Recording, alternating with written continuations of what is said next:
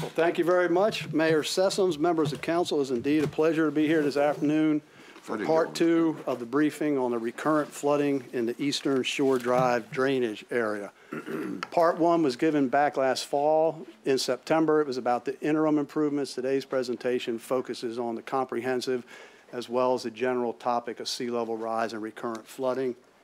Today, I'm going to be answering five questions, just what is the Eastern Shore Drive area? What actions have been taken thus far? Just why exactly is this area experiencing recurrent flooding? What are the general things we can do about it? And what specific measures are we going to be talking about now, today? This is the Eastern Shore Drive area. It's bounded by the Chesapeake Bay and Long Creek on the north and south, Lynnhaven Inlet on the west, and the State Park on the east, if you will. It's the duckbill of the Duckhead area of, of the city, for those of you that look at your maps like that. In September, we did brief you on a package of interim improvements. They were authorized. They consisted of five check valves and three sluice gates. Uh, Those uh, measures do reduce flood frequency. They do not eliminate flooding, but they reduce flood frequency for 40 homes and almost 7,500 feet of roadway. The green stars show the location of the check valves. They're in what we call the tidally adjacent area of Lynnhaven Colony. Those are the lowest areas where all the boating channels are.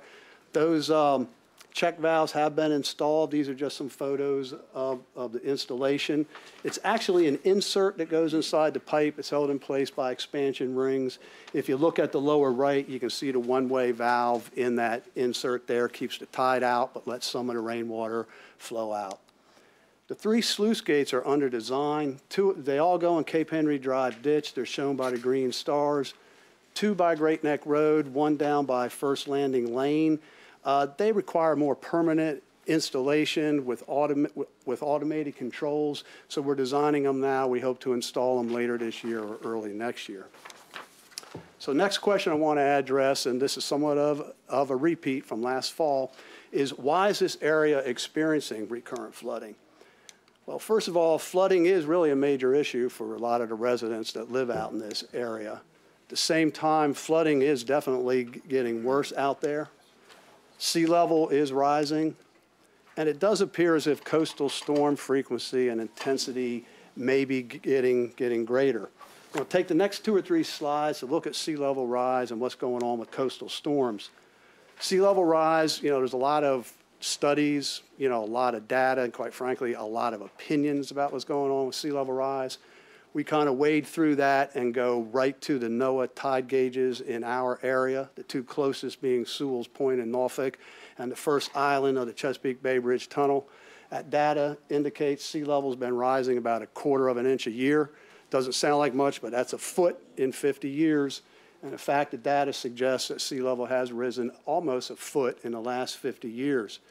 Now, in 2012, the General Assembly requested VIMS, the Virginia Inst- Institute of Marine Science, to provide them a comprehensive report on sea level rise, recurrent flooding. VIMS delivered that report in January of 13, and the main finding in it was that the Commonwealth should start planning for another foot and a half to three feet of sea level rise to occur within the next 50 years. Hold- on just a second. Sure. John, I'm sorry. Um, if the rise at the Chesapeake Bay Bridge Tunnel is a quarter inch per year, but, I mean, wouldn't that be two and a half feet If in there- fifty years? If, uh, a quarter inch a year would be an inch every four years. Uh, Four times 12 would be 48 years. I, I did it wrong. Okay, that- that's all right. Thank you. Now, this is, pertains to the coastal storms. This is a handy table that our emergency managers and the fire department uh, use, and I want to thank them for letting us use it. Amongst other things, it shows 15 storms at the Sewell's Point gauge that produced the highest water surface level. That gauge is the oldest in the area, has been in operation now for 87 years. It's interesting to note of those 15 storms, nine of them occurred within just the last 16 years. Definitely, definitely suggests a short-term trend at the very least. I point out to the council that the left-hand, or your right-hand column that shows the water surface levels, that's reference to a tidal datum at Sewell's Point. To get it referenced to a ground elevation we're all used to, you would subtract 1.61 from those numbers. which we've done, and here are the water surface elevations for those nine storms in Long Creek adjacent to the Eastern Shore Drive area. The highest of those nine was Nor'Ida, that produced a tide elevation of almost seven. Draw your attention to Hurricane Sandy, produced an elevation about five, seven. We'll be looking a little bit more of that in just a slide or two. Bottom line, sea level rise plus coastal storms is resulting in increased flooding in many areas around the city, but the Eastern Shore Drive area seems to be one that's really feeling the effects right now. This map, the red stars shows the areas where we're aware of some level of flooding that occurred during Hurricane Sandy, which of course for us was not a hurricane, it was a northeaster. Some of the flooding was relatively minor. Up in Eastern Shore Drive, there was some flooding of structures. I'm going to focus on that area. At Dockside, um, the boat obviously is in Long Creek. The car's in the parking lot. That boat's usually several feet lower than the car. Next door at um, Bubba's and the Shellfish Company, which we'll get this to. Mike, would you advance that? There we go. I think the photo speaks for itself. You know, this isn't necessarily the peak water surface rise. That's just when staff could get out there and take photographs. I'd also remind you that Nor'Ida was about 1.2 feet, two feet higher. Down in Lynnhaven Colony, this is a picture on Lynnhaven Drive and Lynn Road. If you look at the rancher in the background, the water's about up to the windowsill. Just another shot in Lynnhaven Colony. This is up on Cape Henry Drive in Lynnhaven Colony. You're facing west, you're like at the Citrus Restaurant or so, you're looking west. Shows some of the flooding. This photo shows the true extent and nature of it. Back in Lynnhaven Colony, that's a mailbox in the foreground. That black, black object kind of shows how deep the water was there. Now we're over in Cape Henry. This is Wake Forest Street. It is a small boat that's taken advantage of the flood to go boating in Wake Forest Street. And just a last photograph of a house that's experiencing some flooding. So the Eastern Shore Drive area is particularly vulnerable area, vulnerable to sea level rise, storm surge, coastal storms, and even high tides if the wind just blows out of the north for a number of days. And one of the main reasons why is how low this area is. This is a colorized topo map. It shows ground elevations by color. The bluish tint is elevation four and lower. The pink is elevation four to six. The green is six to eight. The orange is eight to 10. And the white, what little there is, is above 10. If you recall, Sandy had a tide of about five, seven. That's all the blue and most of the pink. Pink and Nor'Ida to almost seven. That's all the blue, all the pink, and half of the green. Now, this handy Is that map diagram, taken from the latest FEMA flood map? I'm sorry? Is that an extract from the latest FEMA flood map, the last slide?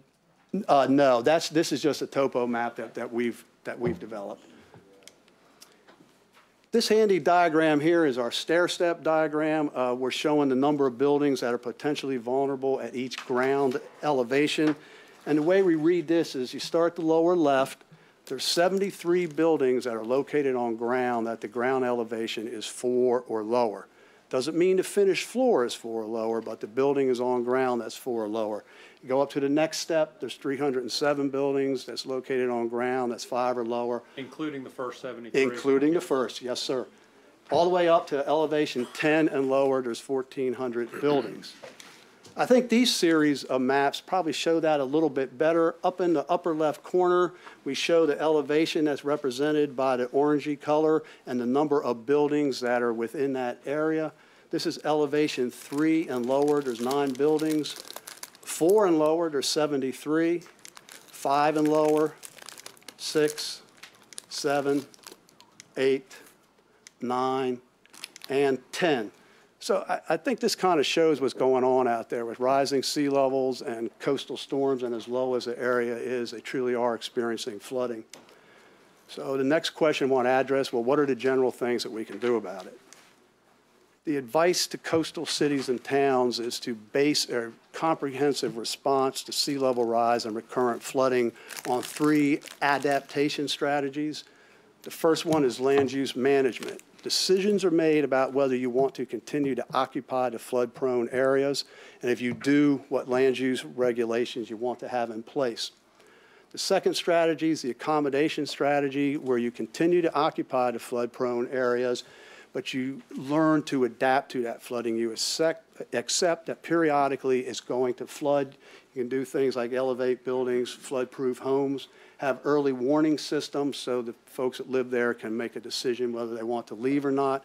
And in fact, the city has started a reverse 911 call out to this area here. When there's an event, we expect to flood them. And where the city engineer's office really comes in is the engineer protection methods. We talked about the interim a little later. We'll get into the comprehensive improve, improvements, excuse me. But when it comes to engineered flood control measures for recurrent sea level rise, those are, those are some complex measures. They consist of flood walls, levees, floodgates, large pump stations, and greatly enhanced drainage systems. Those type of facilities are costly. Our 61st Street pump station down at the beach, we finished up in 2012. That pump station, the ocean outfall, and the trunk line in Atlantic Avenue cost about 20 million. They're O and M intensive. If we build infrastructure like this, we have to maintain it because it needs to work when it's called upon, and it'll be called upon during some of our worst, our worst events. We don't want a New Orleans or even a Midtown Tunnel scenario here in our city. But no matter how well you engineer it, no matter how well it's maintained, there's a limit to its effectiveness. I mean, the flood barriers can only be so high, and the pumps can only pump out so much. From time to time, when the forces of nature exceed that, you'll typically still have some major flooding. Now, as complex as the measures can be, the basic principles are very straightforward. There's two primary ways to do this. Flood barriers to keep high water out of the flood-prone areas, and pumps and enhanced storm drainage inside the flood-prone areas to pump rainwater and minor overtopping out. In the lower right-hand corner, that's a flood wall and a pump station in downtown Norfolk. I think we all recognize where that is with the battleship in the background. To the lower left, that's just one of many flood walls in New Orleans. In fact, New Orleans, this graphic shows the full flood protection system they have. That's probably the best known in this country. There's over 350 miles of flood walls, levees, dikes. It has over 500 openings in it for roads, for railroads, and waterways. They all have to have a closure structure. All those structures have to be maintained and operated in advance of an event they think is going to cause flooding. There's over 70 large pump stations inside New Orleans to pump rainwater and minor overtopping out. We're not without some impressive, impressive infrastructure of our own. This is our beautiful resort area. Rudee Inlet, the lower left, Cape Henry up in the upper right. Nice wide beach, but you know, that beach is an engineered structure. It's engineered to a certain height and a certain width. It's engineered to work with the outer face of the boardwalk, which is actually a seawall. Seawall goes about 30 feet into the sand. Seawall runs from Rudee Inlet up to 57th Street, after which there's an engineered dune system that goes from 57th to 89th, and they're designed to work together to protect against direct wave attack from coastal storms. When we come up to Eastern Shore Drive, we're at Lynnhaven Inlet looking east. It's a nice looking area on its own right too, uh, but there's virtually no engineered uh, protection measures at all up here. That means we kind of have a blank slate. One of the first things we like to do when we have a blank slate is identify the full range of options, the lower limit and the upper limit. With any engineered or built measure, there's always the no build, build alternative. We calculate that to fully protect this area to elevation 10, the entire area, would have an order of magnitude cost of 500 million. Now, we selected 10 because the FEMA flood elevation is seven out there plus a three-foot sea level rise. When I say order of magnitude on 500 million, I mean that in the mathematical sense. We're comfortable with the number of zeros, but we would not expect that first digit to be any less than five.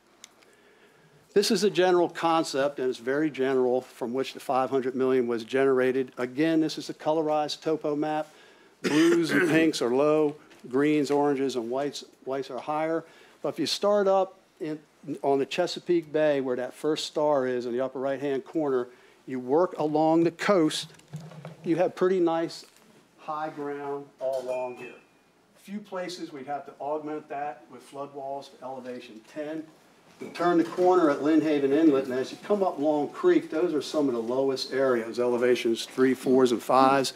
If we wanted to fully protect them, elevation 10, there'd be three miles of flood wall, and we'd have to have at least five floodgates in it for boating access.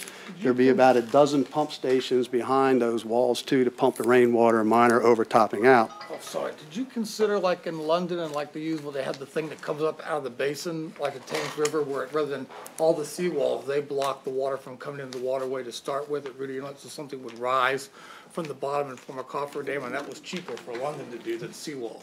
Can, can I say this, Mr. Moss? Not yet, but stay tuned, please. Okay. Approach to this. Okay, all right. Uh, Probably a good time to pause and take stock of where we are, 500 million price tag. Okay, this is a summary thus far. Sea level seems to have risen about a foot in the last 50 years. It's projected to rise one and a half to three feet in the next 50. Coastal storms seem to be increasing in frequency and intensity. This area is very low and vulnerable. Nor'Ida's already produced a flood elevation of about seven. Without flood protection measures, it's likely this area will experience increasing flooding. But flood protection measures for the entire area at elevation 10 have a major impact on this, on this community, both in acquisition and essentially you're building a wall around it and are very, very costly. So we felt the question was really, is it all or nothing, or is there an initial level of things that we can do, a core set of improvements, if you will, that satisfy these three factors here? One, we wanted to provide a level of flood protection in the near term. We wanted whatever we did to be expandable in the future, to be fully integrated in any expanded measures that may take place in 10, 20, 30, 40 years. And we wanted them to be minimally disruptive to this area. That means we wanted to reduce the number of flood walls particularly. So we set about to generate alternatives that satisfied those three factors. We further developed these guidelines to assist us. We wanted to reduce the overall cost. We wanted the improvements to be phased so that the initial phases would be the ones with the most benefit. We wanted to leverage existing infrastructure and natural topography. The next slide, I'll, I'll, I'll go over what I mean by that. Again, we wanted to minimize the impacts in and around the neighborhoods of acquisition and huge flood walls. There's very limited water quality treatment of this area. If possible, we want to provide a level water quality treatment.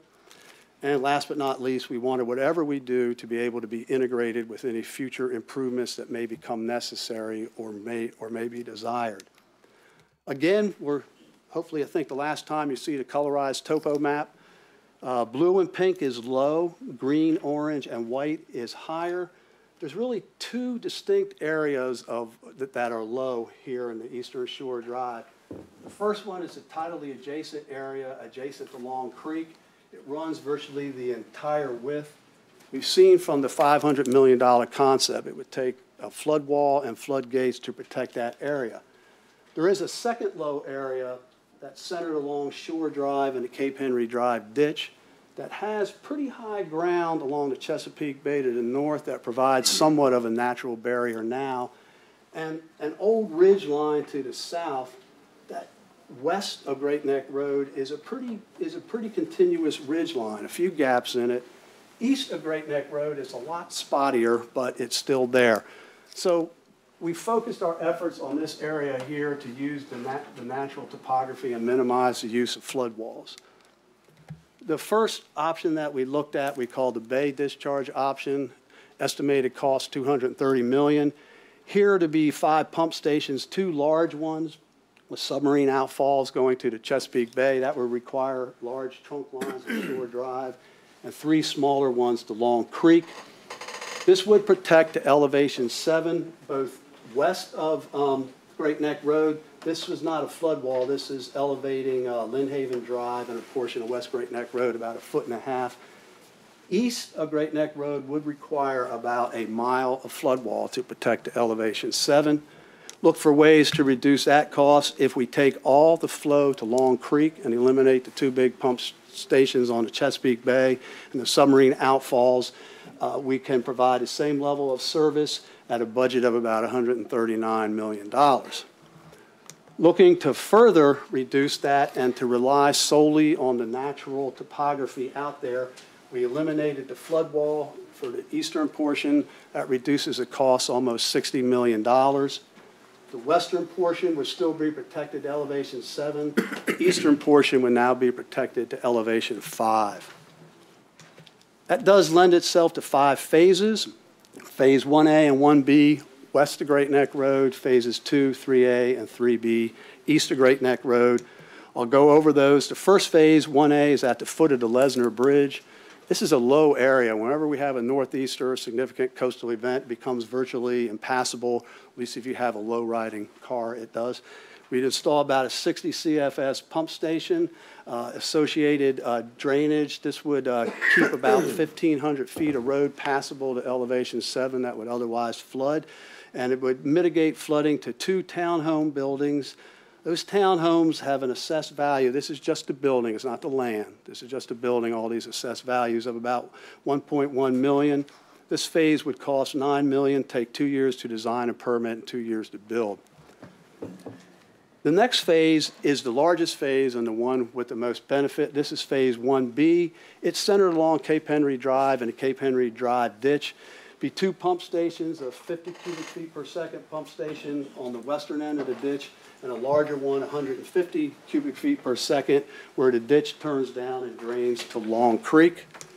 Uh, This would uh, protect the elevation seven would keep almost three miles of road passable up to elevation seven that would otherwise flood. This would mitigate flooding for 152 buildings. Now, this is not GIS information. This is finished floor here. We, we do have some survey information. And those buildings have an assessed value of 55 million. Again, that's just the structure, that's not the land. Uh, this phase would cost 41 million. This one would probably take three years to design a permit. There's a little more meat here and about two years to build. Now, this is the Cape Henry Drive ditch right now. It has its water quality and aesthetic issues. With uh, Phase 1B, we would regrade that and widen that ditch. And this is an artist rendering, and you're dealing with engineers here, so it's about as high as art as we can get. But anyhow, we would uh, take advantage of the ditch for some water quality treatment He's right. we would open up each of the roadway crossings. You can see they're just a bunch of ugly little pipes now for improved flow and for improved aesthetics there. Now, when we cross Great Neck Road and go on the east side, this is Cape Story by the Sea. There's an existing pump station there, the Poinciana Pump Station. It's at its end of its useful life, needs to be replaced. It's on our backlog list, costs about four and a half million to replace that. In this phase, instead of just replacing it, we'd upgrade it to 80 CFS. This would uh, call on the east side, we're protecting the elevation five, keep about 1,800 linear feet of road passable, mitigate flooding up to that elevation for eight homes. Uh, It costs seven and a half million, take two years to design a permit and another two years to build. Can I just pause? When you Sure. talk about all the pump stations, I assume you're having auxiliary power at all those stations and they're elevated. Are you gonna make those gas powered so they don't have to worry about storage fuel how that? I don't think we've gotten that far yet. Okay, I just, but- I just throw that out there because a lot of people are going to natural gas on the auxiliary systems Okay. because of all their issues in fuel. and- Certainly something we're take, we're taking note of, sir. Okay. The Phase 3A, that's Cape Henry. The, the green spot right there is where we're putting in that sluice gate as an interim measure. We put a smaller 20 CFS pump station upstream of that, a little bit of associated drainage, protect elevation five, keep about 3,000 linear feet of road passable, prevent seven houses from flooding until the tide exceeded elevation five. This phase costs four and a half million, again, take two years to sign a permit, two years to build. The final phase, 3B, is actually on the bay side of Shore Drive. This area is primarily experiencing severe nuisance flooding uh, to the point of affecting access to homes along there. This phase goes from the state park to about, I believe it's Bayberry. We'd install two smaller 10 CFS pump stations. They would discharge onto the beach via buried dispersion structures like a lot of the flow out to the beach up there right now uses. Keep about 2,500 linear feet of road passable, improve access for 43 homes. This phase is 9 million. Again, take two years to design a permit and two years to build. This is a summary chart. Left-hand column is the phase. The next column is the cost of each phase. Um, This column is the number of buildings that would be directly protected from flooding that currently flood now that won't with these improvements and their assessed value of just the buildings. I believe if we add land in there, I believe the total assessed value of buildings and land is about 132 million. I also point out that Phase 1A and 1B prevent us from having to uh, increase the budget on Shore Drive Phase Three by about $15 million to put in a large trunk line that's not needed with these phases. And in Phase Two, we need to spend four and a half million to rebuild that pump station anyhow. The next column is the total number of buildings within the area served. They may not be flooding, but there may be an intangible benefit. And the final column is a linear feet of roadway that's kept passable to either elevation five or seven. I'd also note that each phase is, can be, can be independently built. It stands on its own. So when we look at the positive considerations, uh, the uh, southern discharge alternative provides flood protection for a fairly significant area to Eastern Shore Drive. The improvements can be fully integrated in the future with additional improvements, does minimize acquisition and infrastructure impacts to these neighborhoods. It does reduce the cost for Shore Drive Phase 3 by about $15 million. We do utilize existing infrastructure and existing, and existing topography to the extent we can. It's a very constructible phasing sequence, and it addresses the issues of water quality and aesthetics in the Cape Henry Drive ditch. It's not without, without its limitations. Uh, It serves about 260 acres of the 676 acre watershed. About another 200 acres is already at elevation seven or higher, mostly along the bay. Level service for phases 1A and 1B is a tidal elevation of 7, 10-year rainfall. For phases 2, 3A, 3B, elevation 5, and a two-year rainfall. Now, before getting to the recommendation part, wanted to take a little bit of time to look at the bigger picture of sea level rise and recurrent flooding. Please recall there's three adaptation strategies that is recommended communities on the coast um, build their response to sea level rise, recurrent flooding on these three strategies. This is just a diagram of those three strategies. We've been focusing on the engineer protection measures, and more specifically, what we call the micro approach, where we're looking at a sub-area within a larger watershed, in this case, Eastern Shore Drive area, as opposed to the entire Lynnhaven watershed.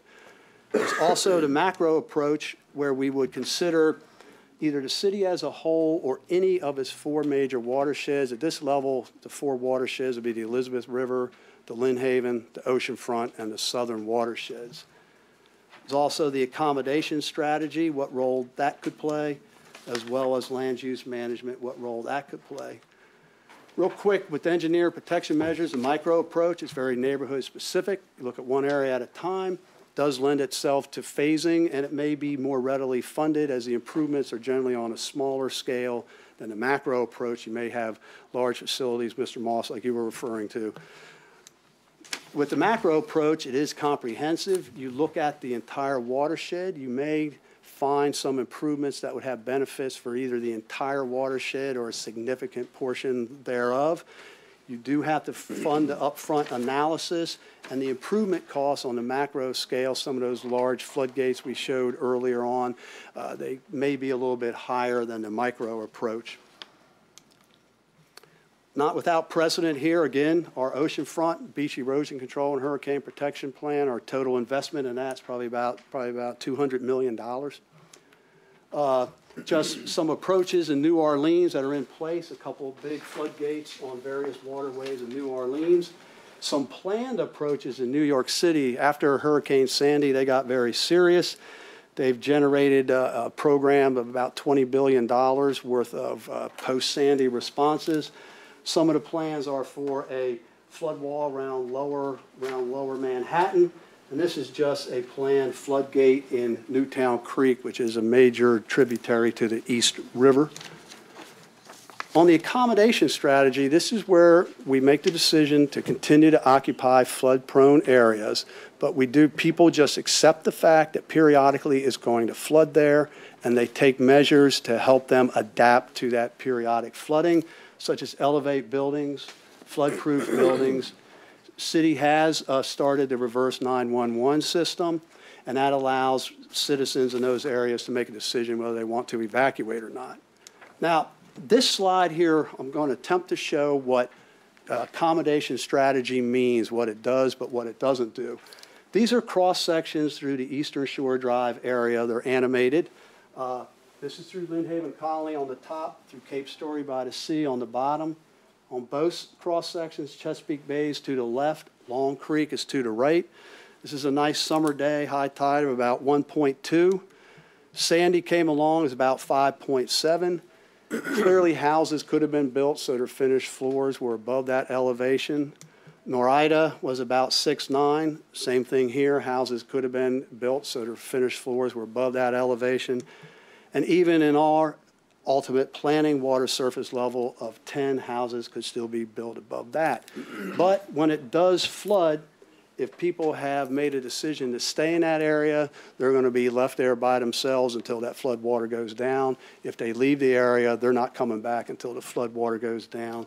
And the repeated periodic flooding of the public infrastructure, the roads and utilities, that eventually takes a toll. So it's not a free lunch to the accommodation strategy.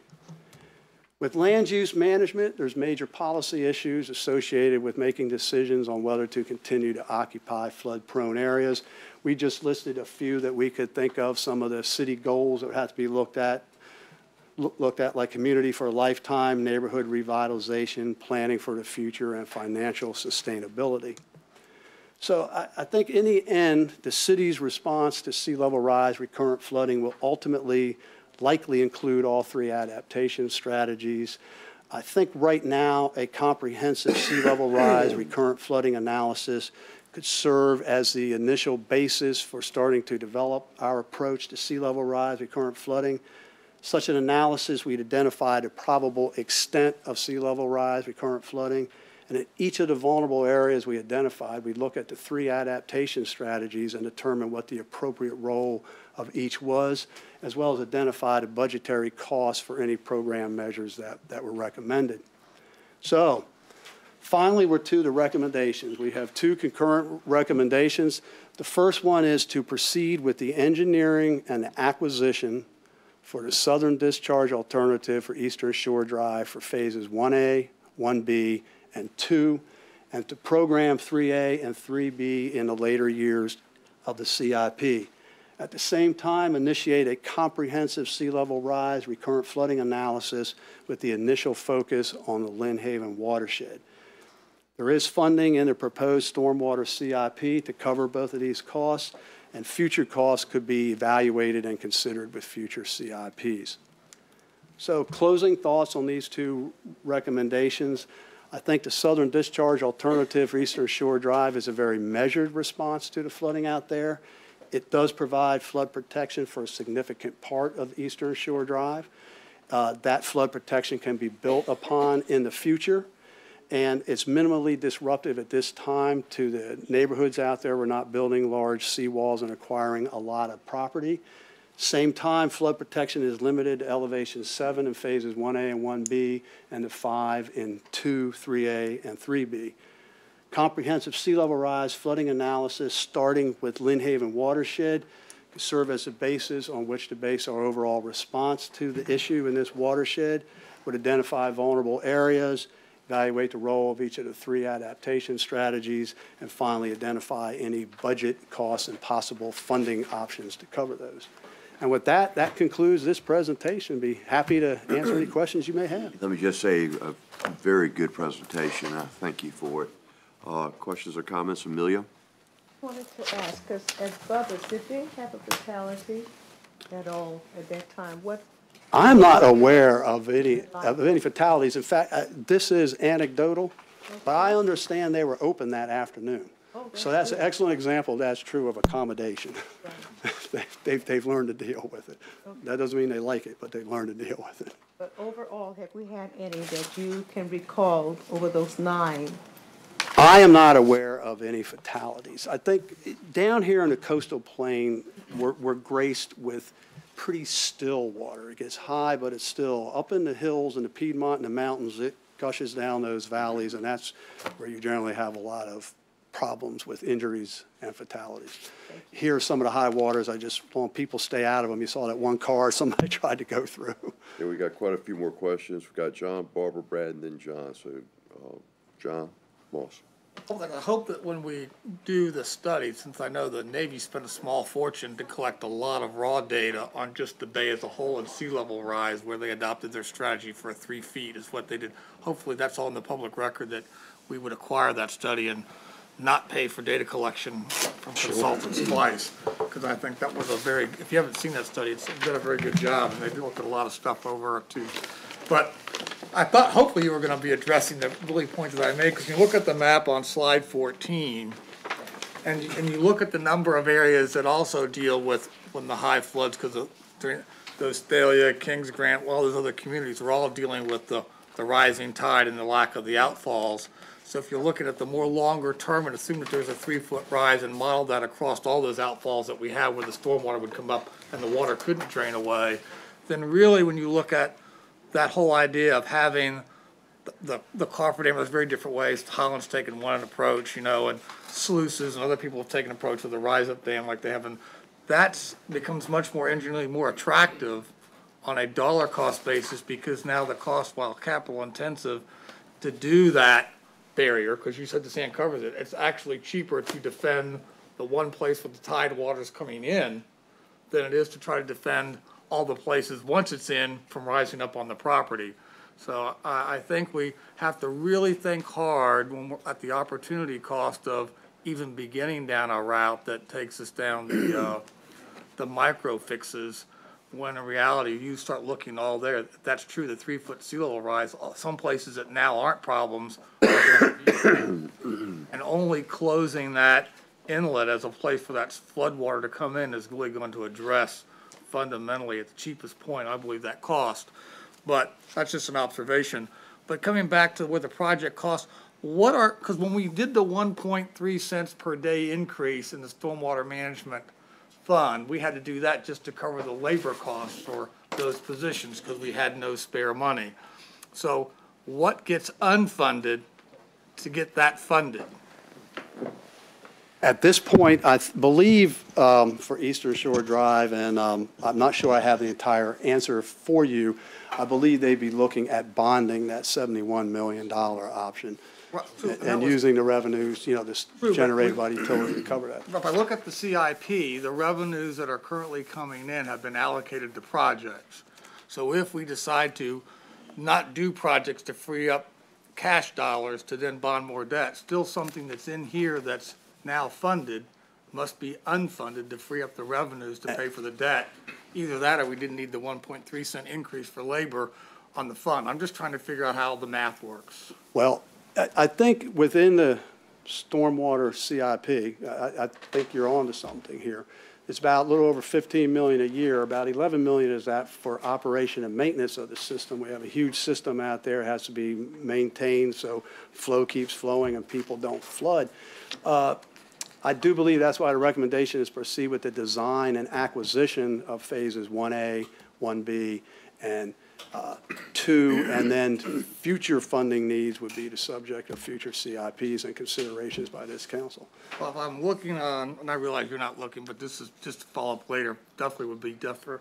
I look at page four one fifty-six in the CIP, I see stormwater utility bonds, and they're allocated to different projects, but clearly there would need to be some different racking and stacking than what we see here, and all I'm asking is, since that will be a reconciliation item, just so us easy people who could look, we could just compare what we got, because this might be something we need to do, but just where the trade-off is that made that possible. Councilman, we would reduce our pay-go amount, we use a considerable amount of pay-go in that long term. So then, the- when I, when I look through any project that's pay-go would not be done. Well, we'd probably revert to long-term debt, probably reduce the amount of pay-go associated and convert that to debt service. So what you figure out is you cut enough pay-goes so that you could do all the pay-go projects plus the design and acquisition and go to debt. Okay. Right, I mean, that would be the logical move, but this, this briefing here is really for y'all to look at those phases and determine your appetite based on that return on investment, uh, chart that's up on the screen right now, whether or not you really wanna proceed down here. Well, well, my, just, if I could, Mr. Mayor, just to con- is that my initial thing is I understand when people, your home's flooding now, you're not interested about what you could do in three more years from now, so I can appreciate all that. So maybe there's some little piece, but I really think, in my own view, when I look at how much of our place is really exposed, and I'm not an engineer, but I know this has been done in other countries successfully, that dealing comprehensively with the, where the water's flowing from is through that Lynnhaven River, that that to me seems like gonna be the most cost-effective way to deal with flooding and then the land use, rather than the balkanization around and end up with a kind of a New Orleans approach piecemeal. That's just my observation. I'm not an engineer, but that seems to make sense to me. I think that's pretty much the same conclusion we've come to, and th- keep in mind, this is not the only area of the city that's having these problems, or is going to have them, which is your point. Uh, we've had conversations with the Army Corps of Engineers in terms of, if we go macro instead of micro, there's gonna have to be a federal participation in this. No question my model on that one. We're working regionally at the planning district to create, uh, some momentum for that kind of a demonstration project. But it was a great presentation. Good job. Thank you very much. Thank you. And, and this doesn't address those tidally adjacent properties, uh, by any means, any of these phases. And, uh, you know, I would ask Rose Hall, do you think you're affected by that? And if you're living in Windsor Woods on the south side of the interstate, those eight-foot pipes that drain the lower part of the western branch are, we had ten homes go underwater in the middle of the Nor'Ida that are fifteen rows away from the water, but the whole stormwater system backed up, went into the roads, and then went down the road and found all those low, no- low homes. So it's, it's pretty extensive. Yep. Okay, we got some more questions, Barbara? Well, it's a long-range question and, and so forth broad, but you know, we, we wrestle with this stormwater fee, and I thought this is what John was gonna ask. I You know- said so many times I stopped. Uh, you know, the- and, and it's very hard to explain to people how that keeps going up, up, up, up, up. But if we're going to use that source to address sea level rise, then it is gonna keep going up, up, up, up, up. And I just don't know how we justify it, especially if we're calling it stormwater fee. I mean, I think we're really going to have to come up with determining what we're trying to address. And there probably somehow or other, we're going to have to do different funding sources for the different causes because the, the sea level rise issue is an, you know, a, a very different thing. But, you know, I'm kind of maxed out on being able to explain to my folks why just getting their ditch dug every now and then is the reason that theirs keeps going up. And, um, it, it, it gets old. So, I mean, we've got two entirely different things we're dealing with. We're dealing with what comes out of the sky as precipitation, and then we're dealing with the sea level rise, and they're two very different things, and I think they've got to have different funding sources. Good And your point's taken. and That's why in a comprehensive analysis, looking at funding options would be part of that analysis. What are the most appropriate funding means? Once we start going down this road, though, when do we, when do we decide we're not gonna keep going down that road using stormwater fees? is what I'm saying. Uh, Brad? Thank you, Mr. Mayor. That's a great presentation, John. I like it when you talk engineering. Um, and I know you've got a lot of good people on this. The, the slide up here is identifying all the private property that's impacted by these. flo- Correct. Is there any analysis, is there an analysis underway of when we start talking about the public infrastructure, the roads? Obviously, when the water rises to, to four and five and six elevation, we've got sanitary sewer manholes and pump stations that are underwater at that point. Um, is that gonna be a third presentation that we'll see in six months, or is that? It's not planned at this point, Mr. Martin. Uh, Right now, we're focusing on the actual buildings and noting in the form of the roads that are passable. But you can see, these improvements would keep about five miles passable that would otherwise flood. Versus, versus raising those roads up and, and having all the look at the challenges to the infrastructure. Sure, yeah, We've just got such getting the a, roads higher than the surrounding properties and everything that goes along with that. we've just got such a mixing bowl of, of initiatives, whether it's the floodplain elevation or this or, um, new stormwater stuff, where you're gonna end up with one house next to another house like that, and you're gonna have a flat driveway and a driveway that's going up at a forty-five degree angle to the next house, and it's just, th- there's so much in this. I think we're already seeing that in Lynnhaven Colony. You did a great job with it, thank you. Jim? Thanks. Can you go to slide fifty-one for me? And I think it's important, fir- first off, I, Mr. Spore, if, if you wouldn't mind, if you could make sure that this is online, because there's a lot of people in Shore Drive that, um, that are watching this, and I know there's a lot more that would like to, would like to view this, um, this entire, um, PowerPoint, because it's, it's very powerful, very good. Um, You know, the staff has recommended, uh, an overall global approach to, for the entire city, and I think that's something that we certainly have to do. Uh, We're talking about five hundred million dollars minimum. I mean, I, I like how you said, you know, you have confidence in the last numbers, but the first number might be higher than five. That was a nice way of putting, you know, putting that, but, um, you know, it's, that's, that's clearly not, not sustainable for, uh, for the city. Um, but, but, but looking at this globally is very important. What, what John talked about in terms of some sort of dam system or something like that to keep it, uh, to, you know, on the surface certainly looks like it would be something that, that would work. You know, I can think of about a thousand reasons why it wouldn't work, but, but that's why we have guys like you that, that are smarter about this stuff that, um, than me. But, but when you look at these various options, I think that once we take a look at this global strategy, I think we're gonna end up doing a combination of all three of these. I, I don't think there's any possible way, and I think we just have to be realistic about it, that everything we can do is, is to protect the entire city this way. There, there's gonna have to be some land use changes, there's gonna have to be some accommodations and, and, and certainly protection, but, um, you know, if you take a look at this just, just on the surface, you know, everybody's home is, is important to them, but, but then you, then you take back, can you go back to that last slide we were at? Um, where you showed. Summary slide, I think it was forty-six, Mike. If you take a look at what's protected, you know, and how much you're spending and, and then the value of, of that, you know, it's, it's, it's hard to, you know, it- if, if you're one of the two people, you know, whose house is being protected by that nine million, you know, a hundred million's not enough.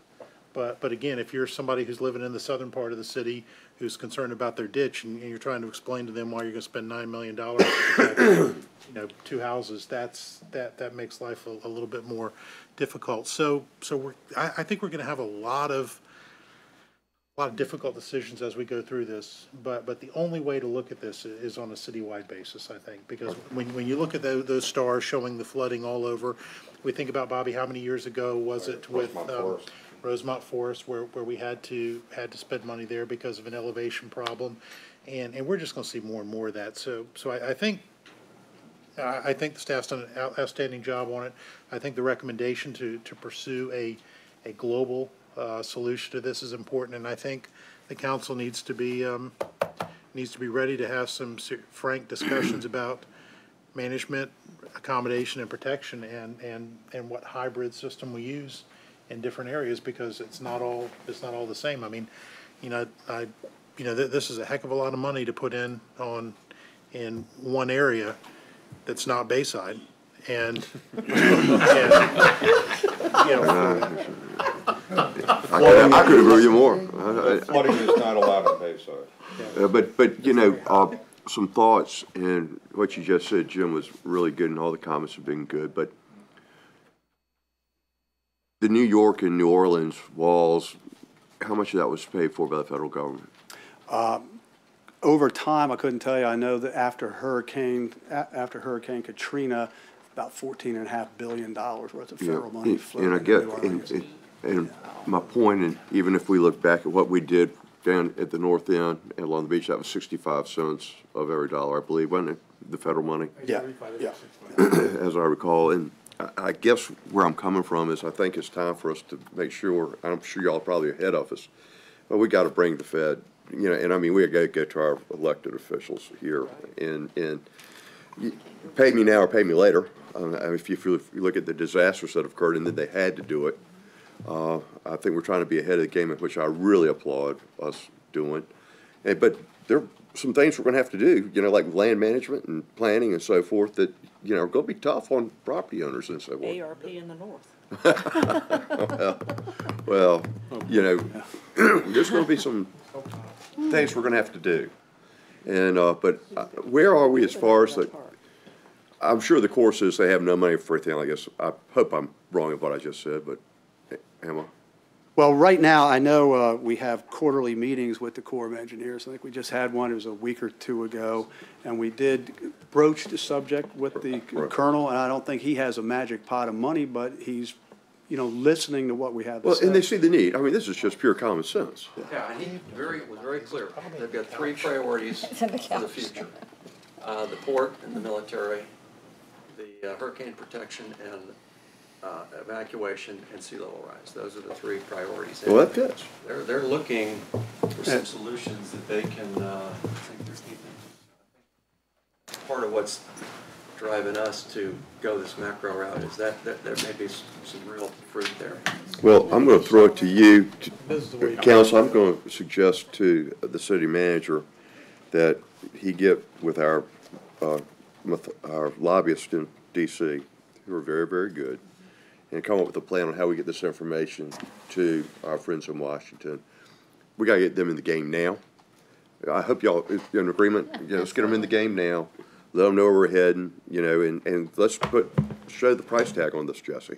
And, and, and Mayor, I would say, you know, the, the solution John mentioned about, you know, very aggressive, major capital projects like that, I mean, that may be what we need to do, and, um, you know, I mean, when, when you look at a twenty billion dollar project in New York, that's probably similar to us building a fire station, but, but, you know, Yeah, but for us, it's, it's, it's a big, it's a big deal, and, and I think that we, we could, we, ought to take a look at big, big, uh, solutions to this. that- And for the that- city- that- That will last for a long time. Oh, yeah, for, for the, city. Yeah. and, and I'm a, you know, when I, years ago, when we started talking about these things occurring, and there were a lot of doubters that what could be done would work. But we have seen it work now. We've seen these major investments really working. You've seen it in your area, Bobby. We've seen it at the North End when people, first time that pump was, everyone said, oh, that water's still gonna be on Atlantic Avenue. Well, what? You know, so work. we, we've seen this stuff work. The investments pay off, so, Bobby? Yeah, would also the uh, Department of What do you Defense have think an of them? interest? Well, I think that's where we get our federal guys telling us. Yeah, what- that's why, you know, do. part of it, you know, make the argument. It's gonna be the court's first concern, Yeah, What are your favorite streets? yeah. But any other questions or comments? I- Again, just a really good presentation. Well, thank you very much. And uh, I think a lot of people are gonna be looking at it. Okay, well, thank you very much. Thank you very much. Okay.